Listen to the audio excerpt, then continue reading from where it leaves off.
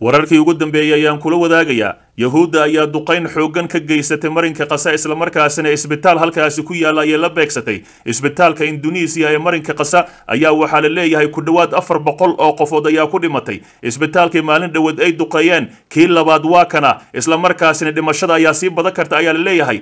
War argagax leh ayaa halkaasi laga soo sheegayaa. Wasaaradda caafimaadka ee qasa ayaa sheegtay in ciidanka gumaysiga ay sameeyeen xasuuq ba'an oo cusub kadib markii ay duqeeyeen xaafad la degan yahay oo ku dhegan isbitaalka induneisiya ee jabaliya waqooyiga marinka qasa halkaas oo ay ku dhinteen boqolaal shahiid ah iyo dad dhaawac ahi. Wasaaraddu waxay tilmaamtay in ay jiraan afar boqol oo shahiid ah iyo dhaawac badan marka la eego tirada hordhaca ahi iyadoo carabka ku adkaysay in tiradu ay noqon karto tii ugu badneed oo laga yaabo inay ku dhowaato tirada dhibanayaashii xasuuqa isbitaalkii babtis sababtoo ah goobta la duqeeyey ayaa ahayd mid ay dadku aad u badan yihiin islamarkaasina ay ku soo qaxeen. Waraysi uu siiyey aljasiira afhayeenka wasaaradda ayaa ku tilmaamay xaaladda isbitaalka mid aad u daran isagoo xusay in tirada ugu badan ee dhibanayaasha ay yihiin carruur iyo haween. Wasaaradda arrimaha gudaha ee khasa ayaa sheegtay in xerada jabaliya lagu duqeeyey lix bam oo midkiiba uu ahaa dhowr tan oo ah walxaha qarxa waxaana la sheegay in la qabsaday gebi ahaanba xaafadda ku taalla bartamaha xerada. Agaasimaha isbitaalka induneisiya ayaa sidoo kale sheegay in dadkii ku waxyeeloobay duqayntaasi ay ka soo gaartay gubasho iyo jirdil. Guryaha soo dumay ah taasi oo muujinaysa in qabsashada ay u adeegsatay hubka mamnuuca ah ee caalamka laga mamnuucay isagoo xusay in isbitaalka uu gebi ahaanba joojin doono shaqadii maalinta berri ah sababo la xiriira shidaal la'aan dhankiisa afhayeenka difaaca madaniga ah ee khasa ayaa sheegay in wixii ay jabaliya goobjoog ka ahaayeen aysan ahayn xasuuqii ugu horreeyey ay gumaysigu u geystaan dadka rayidka ah ee ku sugan marinka qasa isagoo xusay in ay jiraan tiro muwaadiniin ahi oo ku shahiiday kuna dhaawacmay halkaasi waxa uu carabka ku adkeeyey in difaaca madaniga ah ama dadka gargaarka ah ay isku dayayaan inay dadka badbaadiyaan si ay halkaasi khasaaraha ugu yaraatay hase ahaatee awooddii ayaa ka dhammaatay gawaaridii shidaal ma lahan oo duqaymihii ayaa weli socdo. Xaaladda aad ayay xun tahay ayay yidhaahdeen. Dhanka kale aljaziira ayaa waxaa lagu soo qaaday weerar dhanka internetka ah oo aad u xoogan xilli ay ka hadlaysay marinka qasa iyadoo toos ugu jirto. Weerar internet ah ayaa lagu soo qaaday weeraradaana lagu soo qaaday shabakadda iyo nidaamyada aljasiira ayaa ah kuwii ugu rabshadaha badnaa ama ugu culusaa tan iyo intii la aas-aasay. Kooxaha farsamada ee shabakadda aljasiira oo ka jawaabaya iskudaygaasi waxay ogaadeen in intooda badan ay ka soo bilowdeen ciwaanada ibiyada oo ay leeyihiin hay'ad ku lug leh khilaafka hadda jira. Qaarkoodna waxay adeegsadeen farsamooyin si ay u qariyaan asalka dhabta ahi. Kooxaha farsamada ayaa sheegay in iskudayga socda ee u muuqda in ay go'aansadeen in ay waxyeelo geystaan oo ay qaadanayaan. Isbeddel abaabulan oo isku xidhan oo la adeegsanayo hab iyo farsamooyin sare. Shabakadda aljasiira ayaa xaqiijisay in ay xaq u leedahay inay dacwayso oo ay la xisaabtanto cid kasta oo ka dambaysa beegsigaasi.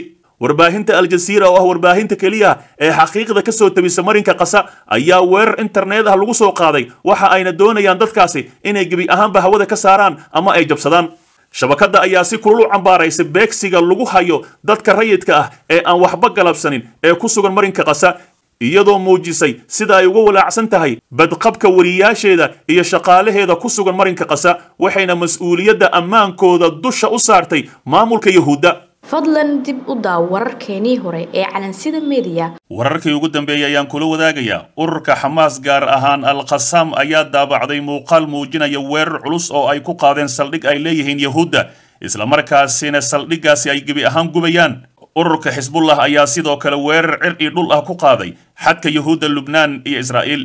Guutada alkhasam garabka militari ee dhaqdhaqaaqiska caabinta ee xamaas ayaa baahiyey muuqaal maanta oo talaado ah kaasoo muujinaya dagaalyahanadooda oo god inay ka soo baxaan weerar culus ku qaaday fariisin ay ku lahaayeen ciidamada yahuudda galbeedka eres oo wata qoryaha darandooriga u dhaca iyo hubka lidka taangiyada kuwaasi oo la arkayay ayagoo u dhakanaya islamarkaasina weerar xoogan ku qaaday. Marka hore ayay waxa ay kiciyeen diyaarad aan duuliyo lahayn si ay halkaasi u hubsadaan saldhigga inta ku sugan muuqaalkani ayaa waxaa ka mid ahaa sawiro laga qaaday diyaarad nooca aan duuliyaha lahayn taasoo muujinaysa la socodka ciidamada yahuudda ee fadhigeedu yahay galbeedka eres waxaana xigay muuqaalo laga duubay dagaalyahanada xamaas oo ka soo baxaya mid ka mid ahi gododka dhulka hoostiisa mara oo ay ku sii siqayaan ciidamada yahuudda. Kadibna ay rasaas ku fureen ciidankaasi. Intaas kadib waxaa bilaabmay dagaal iyo duqaymo xoogan xabadaha iyo darandooriga qoryaha u dhacaya ayaa la maqlayay muuqaalka ayaa sidoo kale muujinaya gaadiidka la beegsaday oo dab qabsaday intii uu socday iska hor imaadkani warbaahinta al-jasiira ayaa la soo dhigay muuqaalkaasi waxayna muujinayaan dagaalyahanada xamaas oo dhiiran islamarkaasina u dhowaaday xerada halkaasina duqayn xoogan gaarsiinaya. Guutada alkhasaam ayaa axaddii ku dhawaaqday in mujaahidiintooda ay fuliyeen howlgal deg deg ahi taas oo ay ka dambaysay weerarada ay yahuudda ku soo qaadayaan marinka qasa ciidamada gumaysiga israa'iil ee u dhow isgoyska beyt hanuun eres waxayna sheegeen in ay goobta ku duqeeyeen madaafiic iyo gantaallo culus. Dhinaca kale ciidamada gumaysiga ayaa sheegay in ay dileen tiro dagaalyahano ka tirsan. Qaar kalena ay dhaawaceen iyagoo intaasi ku daray in ay ku guulaysteen in ay gudaha u galaan deegaanka eres kadib markii ay ka soo baxeen tunneelka furan ee marinka qase ka imanaya si kastaba ha ahaatee yahuudda meel kasta ayaa laga weerarayaa. Waxay ilaa iminka ay fahmi la'yihiin taatikada guutada alqasam marna god ka soo baxaya marna gantaallo hawada ugu keenaya. Dhinaca kale dagaalyahanada xisbullah ayaa weerar xoogan ku qaaday ciidamada yahuudda ee ku sugan xuduudka lubnaan iyagoo u geystay khasaaro lixaad leh. Warbaahinta militariga iska caabinta islaamiga ee xisbullah ayaa soo saartay shan bayaan oo xiriir ahi oo ay ku caddaynayso faahfaahinta weeraradii bayadbilta metulla albahri jal alam iyo baranit. Bayaankii ugu horreeyey ee soo saartay isbahaysiga islaamiga ee xisbullah magaca eebe ayaan ku bilaabaynaa ee naxariista guud iyo mid gaarkaba leh.